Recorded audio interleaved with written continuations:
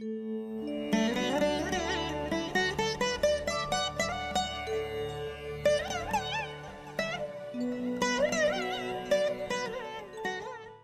அனைவருக்கும் இனிய நல்வாழ்த்துக்கள். எல்லோரும் நன்றாக இருப்பீர்கள். இன்றைக்கு பிரீமியம் இடையிலே நிறைய பேர் இந்த பரிவர்த்தனை பற்றிய அமைப்புகளை பற்றி கேட்கிறீர்கள். பரிவர்த்தனை பெற்ற கிரகங்கள் என்ன பலன்களை செய்யும் ஐயா? அப்படிங்கிறது உங்களுடைய நிறைய பேருடைய ஒரு சூட்சும விளக்கமா அதை கொஞ்சம் ஒரு படங்களாக விளக்கி சொல்ல முடியுமா? அப்படிங்கிற மாதிரியான கேள்விகள் அடுத்தடுத்து வந்து வந்து கொண்டிருக்கின்றன. உண்மையை சொல்லப்போனால் நிறைய விஷயங்களை பற்றி விளக்கி பொது வீடியோவும் இப்போ பிரீமியம் வீடியோ ரெண்டாயிரத்தி ஐநூறு மூவாயிரம் வீடியோக்கள் போட்ட ரெண்டாயிரத்தி ஐநூறு வீடியோக்கள் போட்டாச்சு. அப்போ அந்த ரெண்டாயிரத்தி ஐநூறு வீடியோக்களில் பழைய வீடியோக்களை பார்த்து போய் பார்க்கிறீர்களா இல்லையா? அப்படிங்கிறதுல இருந்தாலும் கூட ஒரு சில நிலையில் பார்த்தீங்கன்னா இன்னும் அதாவது ஜோதிடம் வந்து ஒரு ஆழமான நுணுக்கமான கடல் தான். ஆனால் சொன்னதையே சொல்லி கொண்டிருக்க முடியாது. நீங்கள் தான் போய் ஏதாவது இதை பற்றி நான் பேசியிருக்கிறேனா அப்படிங்கிறத பார்க்கணும் என்பதற்கிணங்க. எதையாவது சொல்லாமல் விட்டுருக்கிறேனா அப்படின்னு பார்த்தீங்கன்னா பரிவர்த்தனை அமைப்புகளில் ஒரு ஆறு ஆறு படங்கள் விளக்கமாக போடலாம். பரிவர்த்தனை அமைப்புகளில் தவறான புரிந்து கொள்ளப்பட்ட ஒரு அமைப்பின் அடிப்படையில் என்னன்னா பரிவர்த்தனை பெற்ற கிரகங்கள் நன்மைகளை செய்யும் அப்படின்னு தான் விளக்கங்கள்லையும் அப்படி இப்படின்னு நீங்கள் நினச்சிக்கிட்டு இருக்கிறீங்க. அப்படிலாம் இல்லை. எப்படி? பாவர்கள் நன்மையை செய்வார்கள் என்பதை விட அவர்கள் தன்மையை செய்வார்கள் என்று நான் அடிக்கடி சொன்னது மாதிரி. அதாவது ஒரு கிரகம் அது என்ன தர இருக்கிறதோ அதை தரும். ஆனால் இங்கே காலம் காலமாக சமீபத்தில் தவறாக புரிந்து கொள்ள ஒரு நூறு வருஷமாக தாங்க ஒரு அப்டேட் ஆகிட்டு வருது ஒரு எண்பது தொண்ணூறு வருஷமாக தான். அப்போ ஆதி காலத்தில் நூல்களில் விளக்க விளக்க நூல்களில் எழுதினவங்கெல்லாம் என்ன எழுதியிருக்கிறாங்க? ஆட்சி உச்சம் பெற்ற கிரகங்கள் நன்மையை செய்யும். அப்படிலாம் கிடையவே கிடையாதுங்க. அதெல்லாம் சும்மாங்க. ஒவ்வொன்றா தான் அப்டேட் ஆகிட்டு வரணும். ஆட்சி உச்சம் பெற்ற பாப கிரகங்கள் ஆட்சி அவனுடைய கொடூரமான கடூரமான காரக அமைப்புகளில் தீமைகளையும் செய்வார்கள். கூடவே லக்னாதிபதி ஆட்சியாக இருக்கிறார். சனி செவ்வாய் ஆட்சியாக இருக்கிறது. உடல் உறுதியாக இருக்கும். லக்னாதிபதியாகி சனி இருக்கிறார். நீங்கள் பொறாமக்காரனாக இருப்பீங்க. அதுக்காக லக்னத்தில் குரு இருக்கிறதுக்கும் லக்னத்தில் சனி இருக்கிறதுக்கும் உள்ள நுணுக்கமான வித்தியாசங்கள் இருக்குல்ல? பழைய கால நூட்களில் வந்து சனி ஆட்சி எது எது எந்த ஒரு கிரகம் சனி உச்சமாக இருந்தால் பயங்கரமான கோடீஸ்வரன் போட்டிருக்கு. அப்போ சனி உச்சமான அந்த ரெண்டரை வருஷத்தில் பிறகுறவன் எல்லாம் கோடீஸ்வரனா? பெரும்பாலும் சனி பிச்சைக்காரர்களை தான் உருவாக்குவார். பாபத்துவமாக இருந்தார்.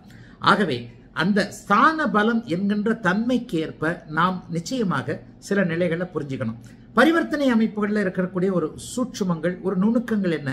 பரிவர்த்தனை பெற்ற கிரகங்கள் ஆட்சி பெற்றதற்கு நிகரான அமைப்பை தரும் அப்படின்னு பொதுவாக நம்ம விளக்க நூல்களில் மூல நூல்களில் சொல்லியாச்சு.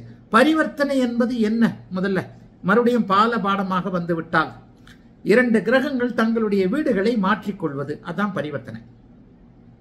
இரண்டு கிரகங்கள் தங்களுடைய வீடுகளை மாற்றிக்கொள்வது பரிவர்த்தனை. இப்போ இந்த மாற்றிக்கொண்ட வீடுகள் நம்முடைய மூல விளக்க நூல்களில் என்ன சொல்லப்பட்டிருக்குது அப்படின்னு சொன்னால் ஆட்சி பெற்ற நிலையை தரும் அப்படின்னு சொல்லப்பட்டிருக்கு.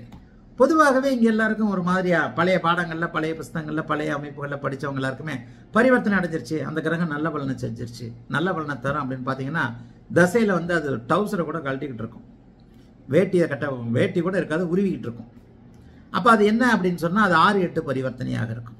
அதாவது பரிவர்த்தனை பெற்ற கிரகங்கள் ஆட்சி பெறுகிறது என்றால் எந்த கிரகம் ஆட்சி பெற வேண்டும் எந்த கிரகம் ஆட்சி பெறக்கூடாது என்பதில் ஒரு நுணுக்கமான ஒரு ஒரு ஒரு நுண்ணிய கணக்குகளை செய்யக்கூடிய அமைப்புகள்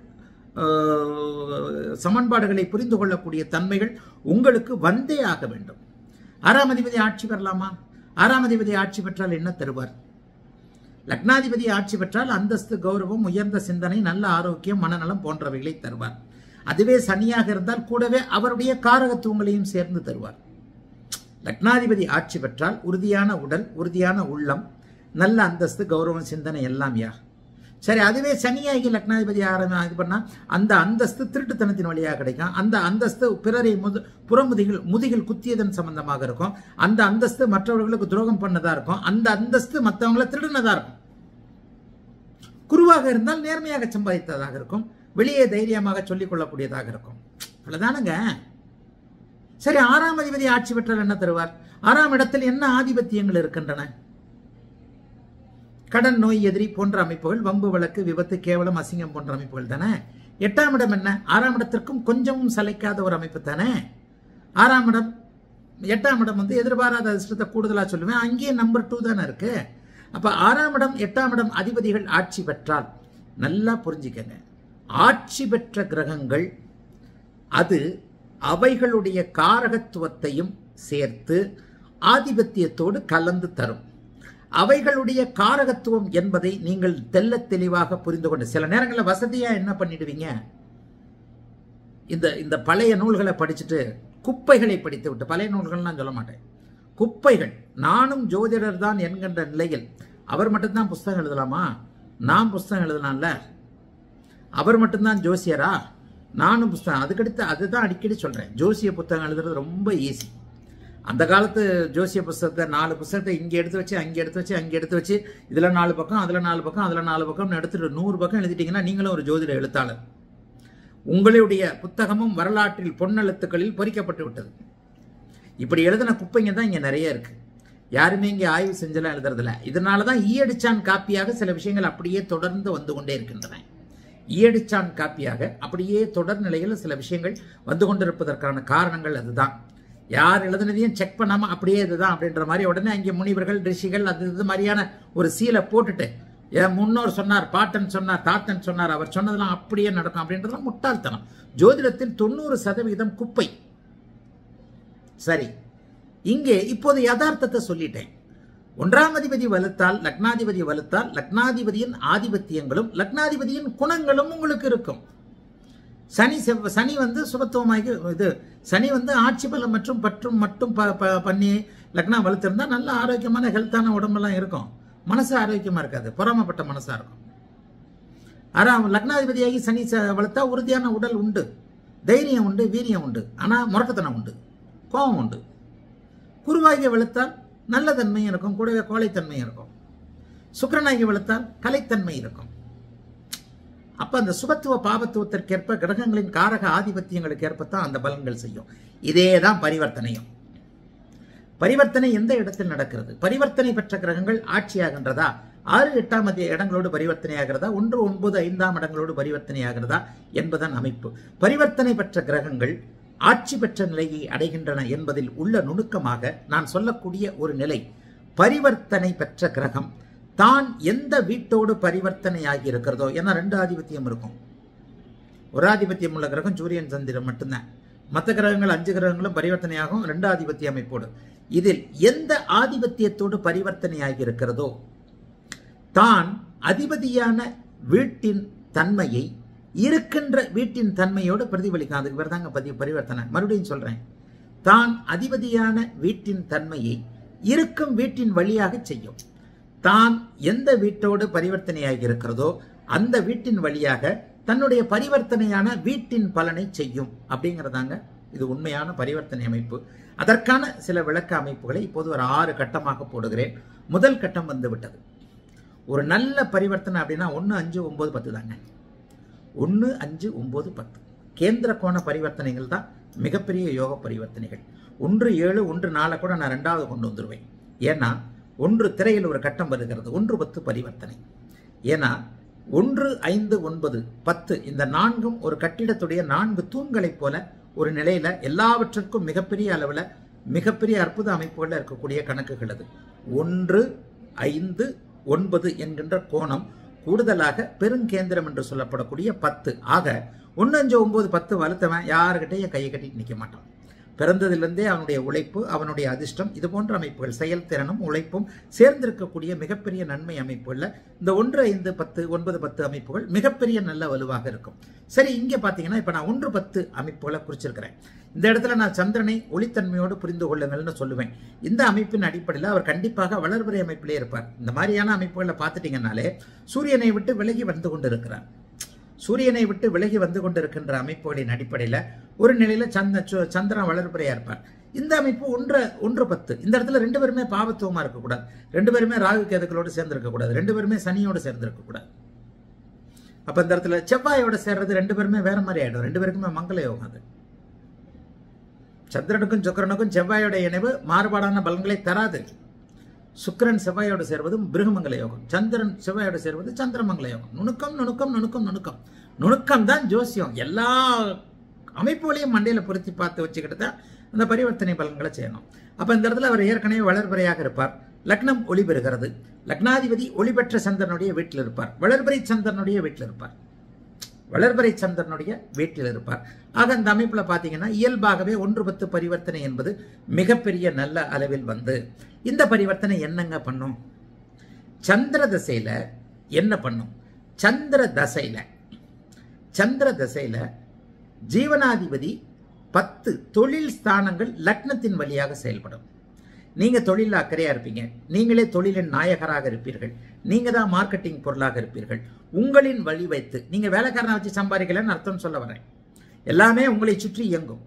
சந்திரதசையில் தொழிலின் மூலதனம் உங்களுடைய மூளையாக இருக்கும். அனைத்தும் நீங்கள் இல்லைன்னா தொழில் இல்லை. அப்படியே உங்களுடைய அத்தனை அமைப்புகளும் அடிபட்டு போய் சந்திரதசையில் உங்களுடைய அத்தனை விஷயங்களும் லக்னத்தின் மூலமாக நடக்கும். தொழில் உங்களின் மூலமாக நடக்கும். அவ்வளோதாங்க சுக்கரதசையில் என்ன நடக்கும்? லக்னாதிபதி அப்படியே இங்கே பத்தாம் வீட்டில் இருக்கிறார். உங்களுடைய முயற்சிகள் அத்தனையும் தொழிலாகும். நல்லா ஆழமாக கவனிச்சுக்கோங்க. அங்கே உங்களுடைய எண்ணங்கள் முழுக்க முழுக்க தொழில் அமைப்புகளில் பிறருடைய உதவியை கொண்டு முழுக்க முழுக்க ஒரு தொழில் ஸ்தாபனத்தை உருவாக்கி சுக்கரதிசையில் நீங்கள் தொழிலின் ரீதியாக வேலையின் ரீதியாக நல்லா இருக்கக்கூடிய அமைப்புகள் இந்த ஒன்று பத்து பரிவர்த்தனை அமைப்புகள் வந்துடும் இப்போ ரெண்டாவது கட்டம் பரிவர்த்தனை. மறுபடியும் நான் சொன்ன மாதிரி அஞ்சு ஒம்போ ஒன்று ஒம்பது பரிவர்த்தனை. மிதன லக்கணத்தை போட்டு இருக்கிறேன். மிதுன லக்கணத்திற்கு லக்கணத்திலும் புதனும் சனியும் புதனும் ஒம்பது. இதில் உள்ள சாதக பாதகங்களை நீங்கள் பார்க்கணும். லக்னத்துல சனி இருக்கிறார். லக்னத்துல சனி இருந்தாலும் அது என்ன இருந்தாலும் அது சனி லாய்க்கலன்னு அடிக்கடி சொல்றேன் ஒன்பதாம் அதிபதி மீண்டும் ஒன்பதாம் வீட்டிற்கு வருகிறார். லக்னத்தின் அடிப்படையில் இருக்கிறார். இந்த இடத்துல காரக ஆதிபத்திய ரீதியான அமைப்புகள்ல நீங்க புரிஞ்சுக்கணும். இந்த இடத்துல என்ன நடக்கும்? சனி திசை. பாக்கியங்கள் லக்னத்தின் வழியாக நடைபெறும். புதன் திசை. அதே மாதிரியாக தான். லக்னாதிபதி பாக்கியங்களை அனுபவிக்கக்கூடிய அமைப்புகளில் இருக்கிறார். இவ்வளவுதாங்க வித்தியாசம். லக்னத்தின் பாக்கியங்கள் லக்னத்தின் வழியாக நடைபெறும். லக்னாதிபதி பாக்கியங்களை அனுபவிக்கக்கூடிய அமைப்பில் இருக்கிறார். ஆனால் இந்த இடத்தில் காரகத்தன்மைகளோடு புரிந்து கொண்டு சனி லக்னத்தில் இருப்பதால் அவனுடைய காரகத்துவங்களின் அடிப்படையில் உங்கள் லக்னம் நீங்க பொறாமைப்பட்டவர் நீங்க நம்பர் டூ வழியில போறீங்க. மற்றவர்களை பார்த்து ஒரு மாதிரியா இருந்து ஈ அடிச்சாங்க காப்பி. அப்படி இப்படின்னு சொல்லிட்டு இந்த ஒன்று ஒன்பது இது போகும். சரி பேசிக்கா நீங்க எப்படிப்பட்ட குணம் கொண்டவராக இருந்தாலும் சனி திசை புதன் திசையில் பொருளாதார முன்னேற்றத்தோடு இருக்கிறீர்கள். அவ்வளவுதான். இதுதான் பரிவர்த்தனை. உங்க குணம் ரெண்டாவது. நல்ல எல்லாம் சம்பாரிச்சிடுறது கெட்ட கெட்டவன் கீழே போயிடுறதில்ல. கெட்டவனும் சம்பாதிக்கிறான் நல்லவனும் சம்பாதிக்கிறான். இது மாதிரியான கிரக அமைப்புகளில் கெட்டவன் நல்லவன் பற்றிய கிரக அமைப்புகளை குறிக்கக்கூடிய நிலைமை இது. இந்த ஜாதகர் நம்பிக்கைக்குரியாதவராக நம்பிக்கைக்கு உரியவராக இல்லாமல் இருப்பார். புதன் சனி புதன் பரிவர்த்தனை. லக்னத்தில் சனி இவர் சீட்டிங் பார்ட்டி எப்படா சான்ஸ் கிடைக்கும் அவனை போட்டு கவுத்திடலான்னு பார்க்குற பார்ட்டி கடன் வாங்கினா கொடுக்காத பார்ட்டி எல்லாத்துலேயும் ஒரு இக்கனா வைப்பார். சீட்டிங் மூட்லேயே இருப்பார். ஒரு குரு சுக்கர தொடர்புகள் லக்னத்திற்கு சனியை சுபத்துவப்படுத்தும் போது மட்டுமே இந்த பலன்கள் மாறுமே தவிர குரு சுக்கர தொடர்புகள் இல்லாமல் இந்த பலன்கள் மாறுவதற்கான அமைப்புகள் இல்லை. அடுத்து அப்படியே வந்துடுங்க ஒன்று ஐந்து பரிவர்த்தனை. இப்போ மூணாவது கிரக பலி பரிவர்த்தனை. சிம்ம லக்னத்தை போட்டுட்டேன். ஐந்தாம் அதிபதி குரு லக்னத்தில் சூரியன். சூரிய லக்னாதிபதி சூரியன். ஒன்று ஐந்து பரிவர்த்தனை. இது அப்படியே தலைகீழாக இருக்கும். லக்னம் சுபத்துவம் லக்னாதிபதி சுபத்துவம் ஒன்று ஐந்து பரிவர்த்தனை. சூரிய திசையும் அப்படியே குரு திசையும் மிகப்பெரிய யோக பலன்களை செய்யும். ஜாதகரே வலிமையானவராக நல்லவராக நல்லவனுக்கு நல்லவனாக இருக்கக்கூடிய ஒரு அமைப்பு. எதையும் நேர்மையாக அனுபவிக்கக்கூடிய அமைப்பு. லக்னத்தில் குரு அங்கே திக்பலமாகி ஐந்தாம் அதிபதியை பார்த்து ஐந்தாம் அதிபதியோடு பரிவர்த்தனை அமைக்க லக்னாதிபதியை பார்த்து லக்னத்தோடு பரிவர்த்தனையான அமைப்பு. டாப்பாக இருக்கும். வேறு பாபத்துவம் இருக்கக்கூடாது. என்ன? குருதசையிலையும் சூரிய திசையிலையும் அதிர்ஷ்டம் செயல்படும். பருவத்திற்கேற்ப நல்ல குழந்தைகள் அமைப்பு இருக்கும். ஐந்து ஒன் ஐந்து ஒன்றாம் பாவகங்கள் மிகுந்த வலுப்பெறும் ஒன்று ஐந்து பாவகங்களுடைய காரகத்துவங்கள் மிக அதிகமான சுபத்துவமாக செயல்படும். எப்படி செயல்படும்? நல்ல குழந்தைகள் கிடைக்கும். குழந்தைகளை பார்த்து சந்தோஷப்பட முடியும். ஆண் வாரிசு கண்டிப்பாக சர்வ நிச்சயமாக உண்டு. பாவத்துவம் மட்டும் அடையக்கூடாது. ஆண் வாரிசு உண்டு. ஒவ்வொருவரும் இயங்குவது இந்த ஆண் குழந்தைக்காக. ஆண் வாரிசு சர்வ நிச்சயமாக இருக்கும். அதிர்ஷ்டம் அப்படியே செயல்படும். தொட்டது துலங்கும். எல்லா நிலைமைகள்லையும் எலக்ட்ரிக்கல் கடை எலக்ட்ரானிக்ஸ் கடை தலைமை பதவி அரசு பதவி நீங்களே முதன்மையாக இருப்பது முதலாளியாக இருப்பது ஜிஎம்மாக இருப்பது சிஇஓவாக இருப்பது உங்களுடைய பேச்சை அனைவரும் கேட்பது என்பது போன்ற அந்தஸ்து கௌரவம் பணம் வாகனம் வீடு எல்லாம் ஒன்று அஞ்சில் தானங்க இருக்கு. இந்த ஒன்று அஞ்சு அப்படியே குரு திசையிலையும் சனி சூரிய திசையிலையும் வேலை செய்யும். இதுதான் பாசிட்டிவான பரிவர்த்தனை அமைப்புகள். அப்படியே வாங்க. நெகட்டிவையும் சொல்லணும் இல்லையா? ஆறு எட்டு பன்னெண்ட. நெகட்டிவ் வந்துருங்க. அடுத்த கும்ப லக்னம். ஒன்று ஆறு குடையவர்கள் பரிவர்த்தனை. ஒன்று ஆறு ரெண்டு பேருக்குமே நல்லதில்லை. இந்த இடத்துல சந்திரனுடைய ஒளித்தன்மை. மாணவர்களுக்கும் ஃபாலோவர்களுக்கும் பின்பற்றாளர்களுக்கும் அடிக்கடி நான் சொல்லுகின்றது என்ன என்ன? சன் சந்திரனை மட்டும் ஒளித்தன்மையோடு புரிந்து கொள்ளுங்கள். அந்த ஸ்தான பலம்ன்றதை ரெண்டாவது வச்சுக்கலாம். சந்திரனுக்கு எந்த வீடும் பகை இல்லை. ஆட்சி உச்சம் இது இதுதான். நீச்சம் தான் கடகத்தில் ஆட்சி. அங்கேயும் பாவத்துவமாக சுபத்துவமாக ஒளி தேய்பிரையா வளர்பிரையான்றதை பார்க்கணும். உச்சத்தையும் அப்படியே நீச்சத்தையும் அப்படியே. மற்ற ஒன்பது வீடுகளுக்கும் அவர் நட்பு வீடு சம வீடு அப்படி இப்படின்னு போயிடும். இல்லைன்னு போயிடும். யாருமே அவருக்கு எதிரி இல்லையே தாய் இல்லையா? அப்ப இந்த இடத்துல என்ன? ஆதிபத்திய அமைப்புகளை செய்வார். கும்ப லக்னம் சந்திரன் சனி பரிவர்த்தனை. இந்த சந்திரன் சனி பரிவர்த்தனை என்ன செய்யும்? ஆறாம் அதிபதி லக்னத்தில் இருக்கிறார். நீங்களே உடம்பும் மனசும் நல்லா இல்லை. இந்த சந்திரனுக்கு தேய்விரை சந்திரனாகி ராகுவோட தொடர்பு இருந்தது. நீங்க மனம் சரியில்லாதவர். உங்க அம்மா நல்லா இல்லை. சந்திரன் ராகு சேர்க்கை. சந்திர திசையில உங்களுக்கு உடலும் மனமும் பல தாயும் தாய் வழி சொத்துக்களும் வெள்ளை நிற பொருட்களும் நீர்வழி அமைப்புகளையும் அப்படியே நஷ்டங்கள் வருகின்றன. ஆறாம் ஆதிபத்தியத்தை அவர் செய்வார். அப்ப சந்திர திசையில என்ன நடக்கும்? அவர் அங்கே அப்படியே போயிருக்கிறார்.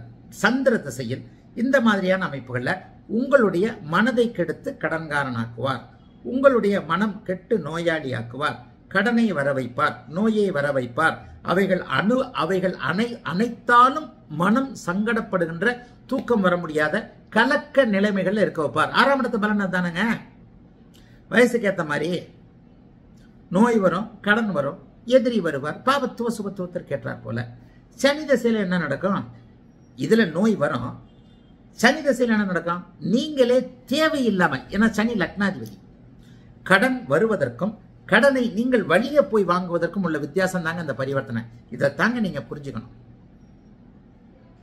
சந்திர தசையில் நோய் வரும் அதனால கடன் வாங்க வேண்டிய வலிய கடன் வாங்க வேண்டிய அவசியம் வரும்.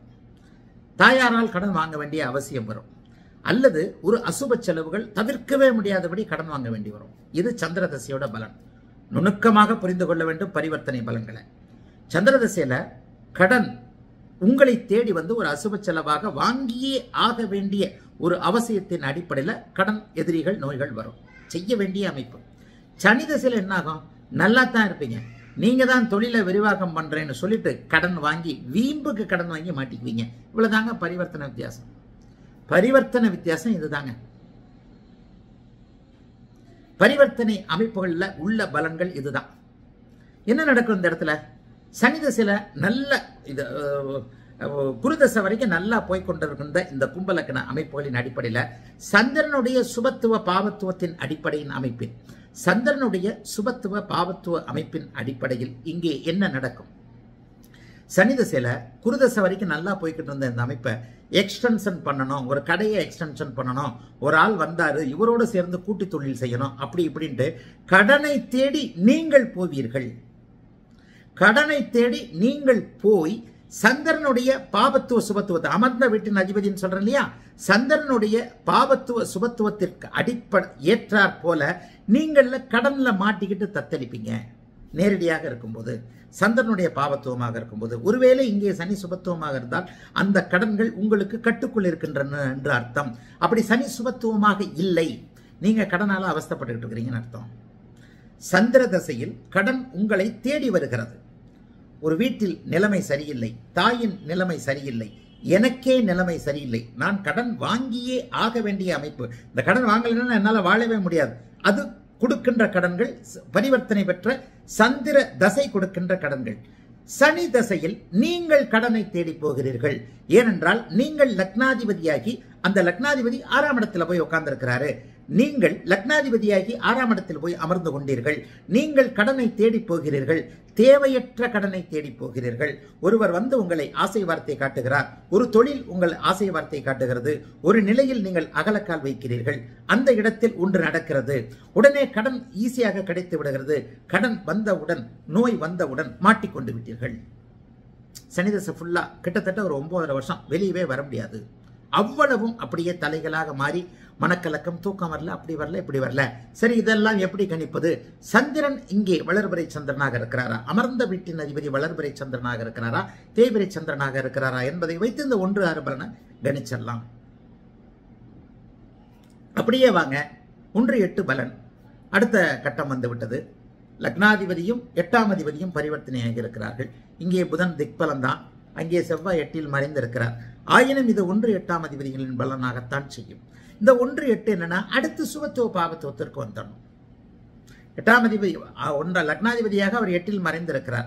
ஒருவேளை சந்திரகேந்திரத்தில் சந்திரனுக்கு நேரே இருக்கிறார் வளர்வரை சந்திரனுக்கு நேரே சந்திரமங்கலத்தில் இருக்கிறார் குருவின் பார்வையில் இருக்கிறார் அப்படி ஒன்றும் பரவாயில்லை என்கின்ற அமைப்பு தான்.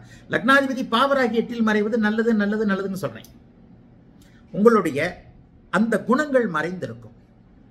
லக்னாதிபதி பாபராகி எட்டில் மறைந்து பிறகு பரிவர்த்தனையாவது யோகம். நல்லது.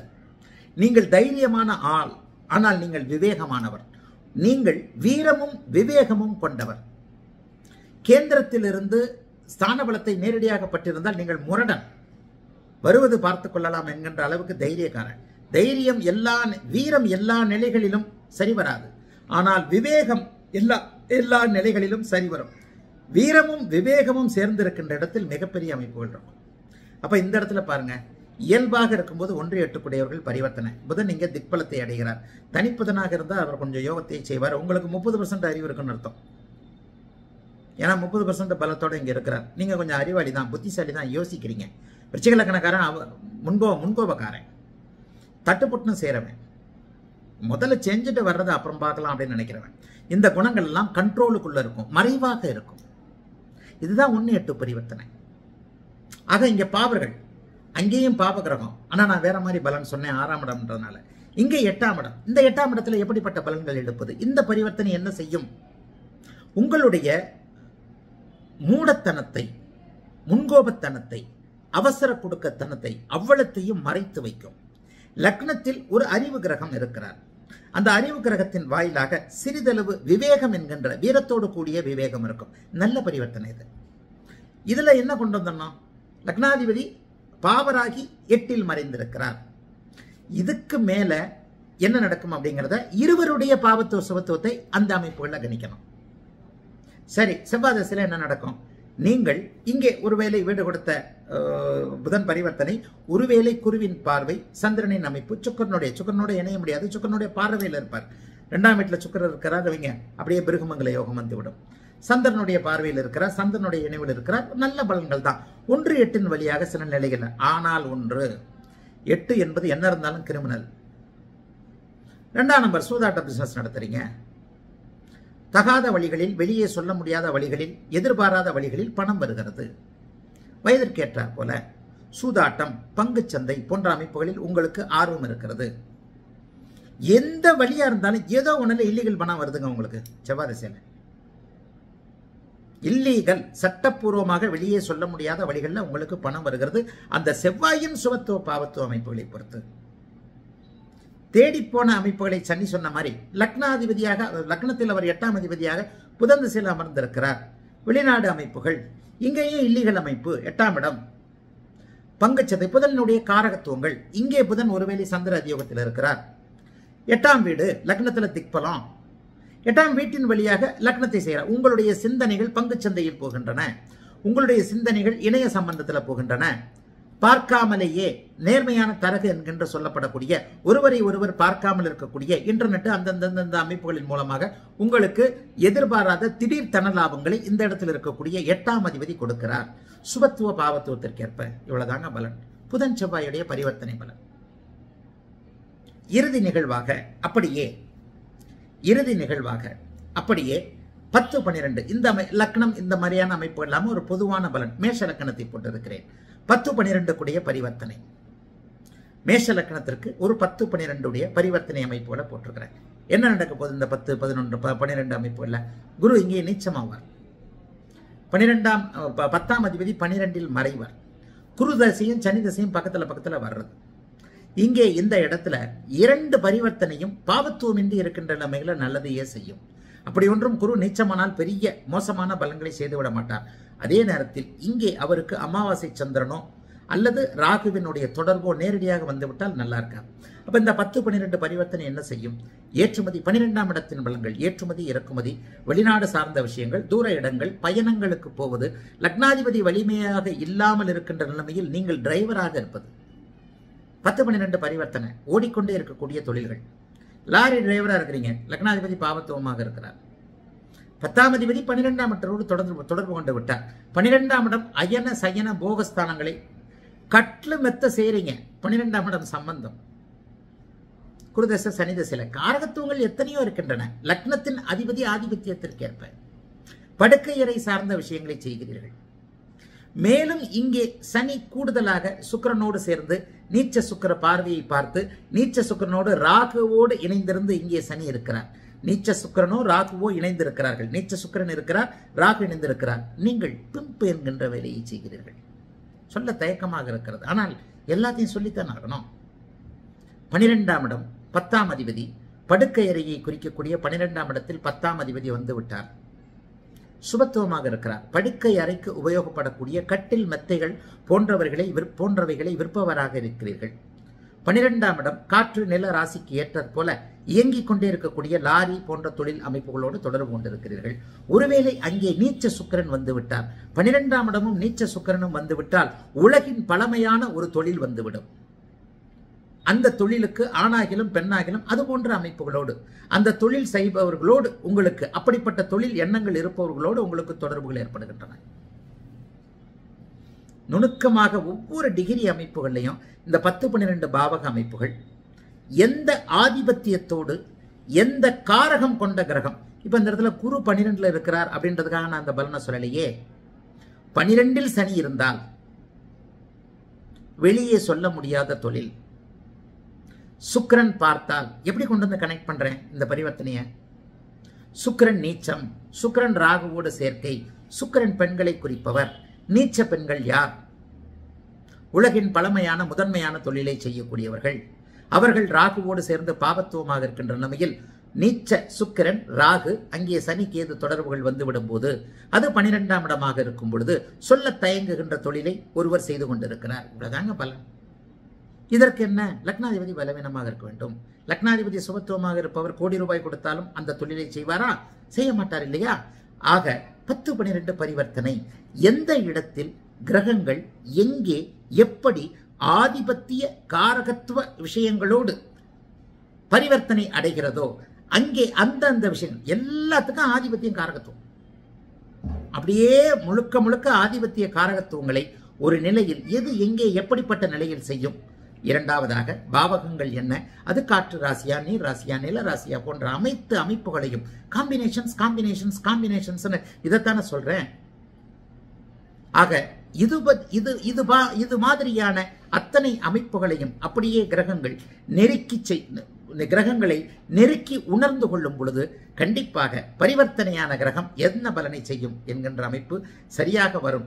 உங்களால் உணர்ந்து கொள்ள முடியும் அப்படிங்கிறத. ஏன்னா ப்ரீமியம் வீடியோலேயே ஒரு நேர் அடிக்கடி ஐயா பரிவர்த்தனையான கிரகங்களின் பலன்களை சொல்லுங்கள் சொல்லுங்கள் சொன்னதுக்காக அந்த நேயருக்காகவே இதை நான் சொல்லிட்டேன். ஆயினும் இதை மிக எல்லோருக்கும் பயன்படுகின்ற விதமாக பொது வீடியோவாகவே வெளியிட்டு விடுகிறேன். வாழ்த்துக்கள். எல்லோரும் நன்றாக இருப்பீர்கள்.